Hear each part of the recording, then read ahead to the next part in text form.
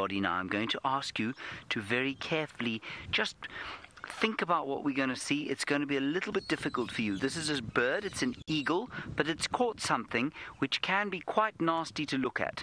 If you look carefully, Viam's going to show you now, he's on camera, it's caught a little mongoose. You see that? Now, a mongoose, unfortunately, that mongoose is dead, and that Wahlberg's eagle is going to eat the mongoose, and I know that can be quite difficult to see.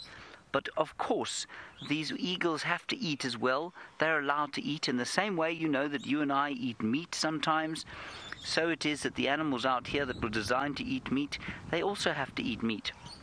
And so I think this very clever bird just killed this mongoose right now while we were sitting just looking at that nyala. Isn't it a clever bird?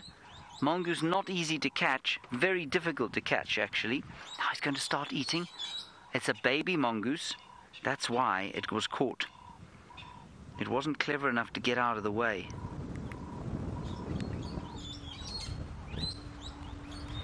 Isn't that amazing?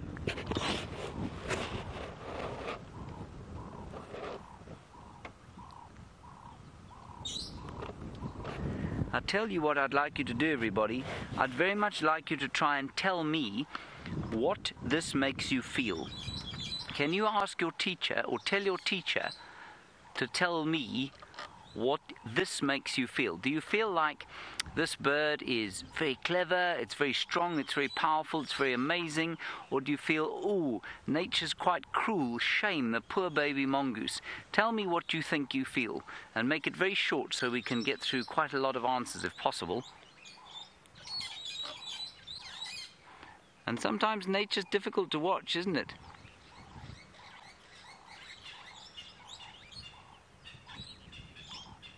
Sometimes it's very difficult to watch something like this because, of course, we don't like it when a bird like this has a problem. So let's just watch it for a little bit longer and see what happens while your answers come in.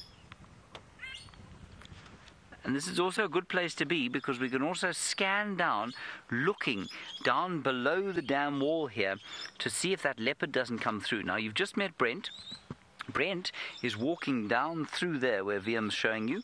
There we go. He's walking through there, and with any luck, he that leopard is definitely close by. We're sure of that because the Nyala were shouting. They wouldn't have shouted at a bird like this. Hmm. Now, Ellie, there are two questions here that you've asked basically, although you've only asked one. You say, Do these birds only eat rodents? This this bird doesn't eat, only eat rodents, it will eat rodents like squirrels, and but it will also eat lizards, it will also eat other birds sometimes, but a mongoose isn't a rodent. A mongoose is a little carnivore. Now, one day, when you get a little bit older, you'll learn about how the different animals relate to each other. But a mongoose is not a rodent, it's a kind of carnivore. In other words, it's closely related to dogs and cats. I'm just going to sneak a little bit forward so that the tree doesn't keep falling in front of the bird's face. I just hope it doesn't fly away. Shall we try that, Viam? Mm-hmm.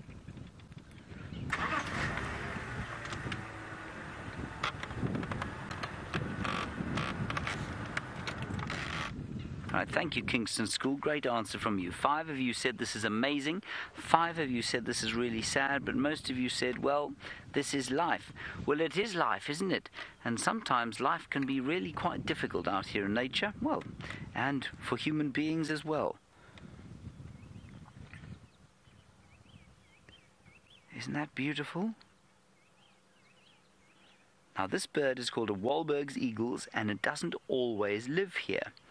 Sometimes it lives up in North Africa. When it's winter time here, this clever bird goes all the way up to North Africa so it can stay in the summertime. Now, Constance, you're wondering what eagles eat other than other animals.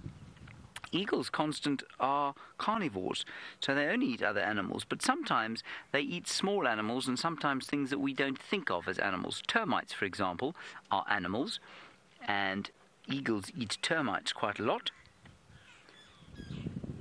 and they eat ants sometimes, and they'll eat other kinds of insects, but those are all animals. Jada, you want to know what this bird's real name is. Okay, so you're listening carefully, Jada. It's named after a chap called Wahlberg, and so it's called a Wahlberg's eagle. This particular bird doesn't actually have a name, although because they always come back to the same place every year. So they go to North Africa, like I said, for the winter time, and they come back here for the summer. And was it summer where we are now? And because they come back to the same place, I've given this one and its partner. They come back as a couple.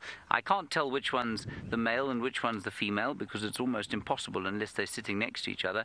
So I call this one Mrs. Wahlberg or Mr. Wahlberg, but it doesn't actually have a name like you have a name. Calling it a Wahlberg's eagle is like calling you a human being. It's just the species that it is.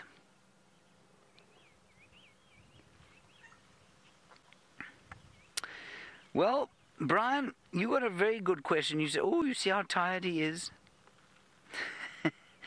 you want to know how strong this eagle is? I don't know how strong this eagle is exactly, Brian, but I'll tell you a story about another kind of eagle. The biggest eagle that we get here is called a martial eagle. And the martial eagle is about twice the size of this eagle. This eagle is about one and a half feet tall. And, um, sorry, I just need to turn my radio down and so call this one about one and a half feet long. The big martial eagle is about two and a half feet tall, two and a half to three feet tall, so it's a very big bird. And it's able to sit on a man's hand. So if you can imagine a man's arm, you know how strong your arm is, right? If it sits on your arm, it can squeeze hard enough to actually break the bones of a man's arm. That's how strong they are, just by sitting there and squeezing. So they've got very, very, very strong muscles in their feet, and that helps them to kill their prey. And I just wonder if this one's not going to perhaps start eating.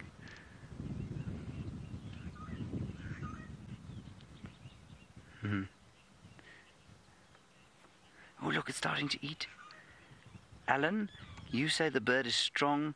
Ryan, you say it's amazing. And Lydia, I've forgotten what you said. What did Lydia say it was? Look at that. And very clever. You see, eagles are clever. Very clever. I would agree with all of you. Strong, amazing, and clever. Now, why do you think it's not eating? Well, I'll tell you. It's not eating because it's looking around the place, thinking about what could come and steal the meal from it. Now, one of you wants to know how many times a day it will eat. Um, and a bird like this doesn't have to eat every day, actually. That meal will probably last it about two days. It seems to have seen something. Look, it's looking around the place. I'm just watching the air. I'm looking around to see if there isn't something that might be coming to steal it. So another bird might try and steal this bird's prey. It too won't be happy to see the leopard if it saw the leopard. And I can't see the leopard anywhere.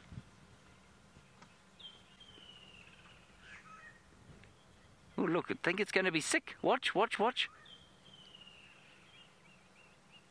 That is amazing. Jayan, you say, what noise does the mongoose make? They actually make a very specific noise.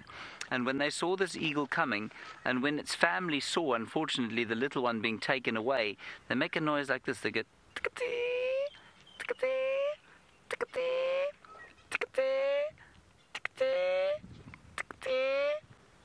and that's called an alarm call. Remember, I told you about the kudu, at least the nyalas alarm calling when they saw the little leopard. Well, that's what a bird like, at least a mongoose, does when it sees a bird coming to get it. It goes and that means to all it's a message to all the other mongoose to get out of the way and move away quickly.